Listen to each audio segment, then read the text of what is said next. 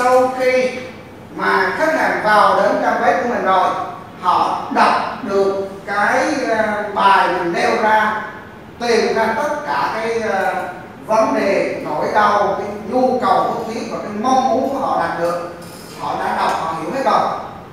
Và họ vẫn chưa đăng ký. Thì làm sao mình biết được là, làm sao để họ vào mà họ phải để lại đăng ký nhiều à, nói ờ, cụ thể hơn là ví dụ có 100 người nếu mà mình không có làm cái gò ma thì họ sẽ ở chỉ đăng ký khoảng tỷ lệ khoảng hai phần trăm còn 98 phần trăm còn lại họ sẽ đi ra và họ sẽ đi mãi luôn họ không có quay trở lại. Nhưng khi mình nói là được vấn đề rồi thì họ thấy là đúng cái đó họ rất là cần và họ phải đăng ký. Là cái trường hợp thứ nhất họ phải cần ngay đó họ để lại thông tin đăng ký điện thoại email và họ tên. Và chưa hết cái đó là chỉ dành cho những người họ thật sự cảm xúc họ thấy được là họ sẽ cần cái lợi ích. Nhưng còn những người còn lại họ chưa có hành động ngay, thì mình phải có những cách để họ phải đăng ký. Ví dụ như là bây giờ một cái sản phẩm nào đó họ đang rất là cần nhưng mà họ không bỏ tiền tức là mình phải tìm ra là cái nội dung chương trình của mình, cái nào khách hàng cần nhất để cho họ, có nghĩa là mình cho cái thông tin miễn phí đó. Một là dùng thử, hai là cái quyển sách liên quan đến chương trình của họ, hoặc là một cái buổi học online cái để họ vô họ học thử. Tất cả những cái nào mà họ đang cần nhất, mình lấy đó mình cho họ trước. Thì họ sẽ muốn lấy cái thông tin đó, họ phải để lại cái thông tin là họ bắt buộc phải đăng ký trước đã tại vì họ chưa có trả tiền gì hết. Họ sẽ sẵn sàng cung cấp thông tin cho mình hết. Đó là những có nhiều chiến lược khác nữa, nhưng đó là tôi lấy ví dụ cho các chị dễ hình dung. Là tăng tỷ lệ đăng ký vào, thay vì có hai phần trăm, thì có thể là tăng lên nhiều lần hơn nữa. Và sau cái giai đoạn 4 thì mình đến giai đoạn 5 họ đã để lại thông tin rồi nhưng họ chưa có đăng ký khóa học, chưa đăng ký chương trình tuyển sinh của mình, chưa nộp hồ sơ, chưa đóng học phí. Thì mình phải có cái chiến lược là biến khách hàng, họ đang là tiềm năng thôi, trở thành khách hàng thực sự và trở thành học viên thật sự. Thì à, có những cái à, chiến lược như thế này là mình phải à, nêu ra để họ biết được những cái này họ cần phải mua ngay. Đó. Thì mình phải tạo những cái độ uy tín của mình. Mình thúc đẩy cái cảm xúc của họ lên thường thường xuyên. Và giống như lúc này đó là cái nỗi lo lo sợ nếu mà họ không mua hàng đợt này á họ không có đăng ký á giống như là cái thời điểm mà nói là cái trường cái, cái ờ, bệnh viện đó nếu một, một cái khoảng thời gian mà họ không đủ điều kiện có bằng đại học thì họ sẽ bị loại khỏi ra đồng viện và họ phải à, nếu không có hàng họ sẽ gặp những cái lo sợ đó. Và một cái nữa là khi họ tham gia đăng ký chương trình đào tạo trực tuyến, mình phải nói ra cái lợi ích. Cái lợi ích của khách hàng là gì? Và ví dụ như là thay vì họ phải đến trực tiếp trường để học, thì họ có lợi ích là họ ở nhà học. Học mọi lúc, mọi nơi và học bất kỳ đâu. Đó là những cái lợi ích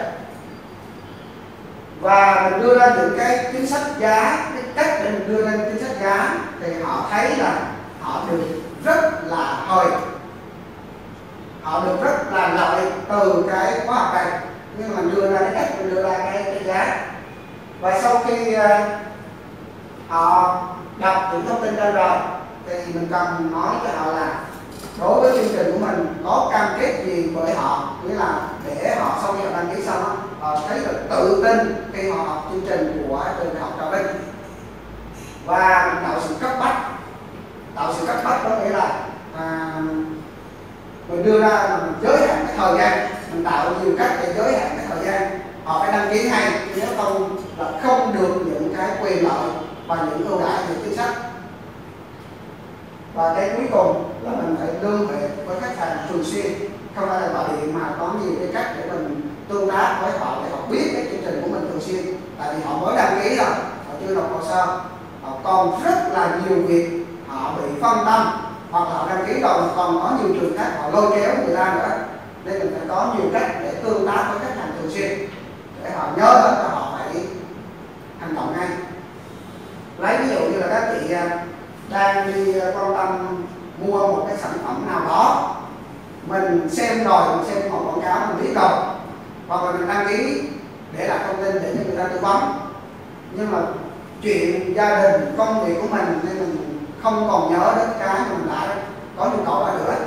Nếu có người họ nhắc lại thì mình sẽ nhớ và mình sẽ tiến hành, còn không mình quên luôn. Và cái điều ở đây khách hàng họ muốn biết là họ không cần biết là cái chương trình đào tạo của mình nó tốt đến cỡ nào mà họ muốn biết là có giải quyết được cái vấn đề cho khách hàng hay không. Đó. là họ muốn biết là cái chương trình mình giải quyết được những cái nhu cầu, cái ờ, vấn đề của họ thì họ sẽ tham gia. Và sau cái giai đoạn là mình đã biến cái khách hàng tiềm năng trở thành học viên thật sự của mình xong rồi, thì đến lúc này mình vẫn chưa phải là dừng lại tại mình chỉ là cung cấp cho họ một lần. Và bây giờ mình phải chuyển qua là mình đến cái giai đoạn là mình phải làm sao để có nhiều chương trình khác để bán tiếp cho học viên. Ví dụ như thay vì học viên đăng ký chương trình là đại học, thì mình có chương trình là cao học tiếp theo. Hoặc là họ đăng ký chương trình đại học trực tuyến và mình có rất là nhiều chương trình ngắn hạn. Mình phải thiết kế ra và mình phải thông báo đến cho khách hàng. Ví dụ như một số chương trình là trong chương trình đại học á, yêu cầu là phải có chứng chỉ ngoại ngữ hoặc là tin học thì cái đó là nó bắt buộc rồi. Nhưng đối với chương trình nào bắt buộc mà phải học tại trường á, thì có thể là họ phải là cái nghĩa vụ và trách nhiệm họ phải học tại trường. Còn rất là nhiều chương trình khác mà họ đang rất cần nhưng họ biết được mình có, nhưng họ không có đăng đăng ký. Hoặc là họ không biết chương trình mình có luôn. Nên là mình phải có những chương trình đó và mình sẽ giới thiệu liên tục đến khách hàng để cái doanh thu của của mình nó tăng lên. Là cũng là một cái chi phí mình tìm được cái cách đó, nhưng mình bán thêm nhiều chương trình đào tạo khác, nhiều khóa học ngắn hạn khác. Chứ không phải là chỉ chỉ à, một lần duy nhất là chương trình để học từ xa đó là giai đoạn thứ sáu.